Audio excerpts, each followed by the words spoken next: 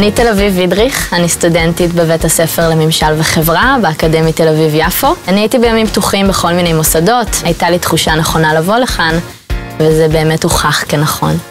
מה ששכנע אותי יותר זו ההתמחות המקצועית שלי. אני מתמחה אצל אה, חבר הכנסת מאיר כהן בכנסת. יחד עם הלשכה שלו אנחנו עובדים על שאילתות, הצעות חוק, וכל דבר שהלשכה עובדת עליו. ההתמחות המעשית זה משהו שאין בכל המכללות. אני בחרתי במדיניות ציבורית, אבל יש עוד שלוש התמחויות, תקשורת פוליטית, פוליטיקה בינלאומית וארגונים אזרחיים. לגבי המרצים, יש קשר ממש טוב איתם. יש רוח טובה והתחשבות. אני מתנדבת בקריית שלום. אני מלמדת ילדים דרמה. אני גם אוהבת את העבודה עם הילדים, וזה גם עוזר לי בשכר דירה. באופן כללי אני מאוד מעורבת במכללה. יש ממש מקום ליזום. אני הקמתי תא לקידום נשים ושוויון מגדרי, יפואיות.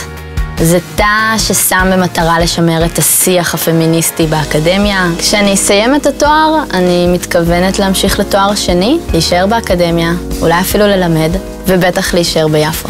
בהצלחה לכולן ולכולם.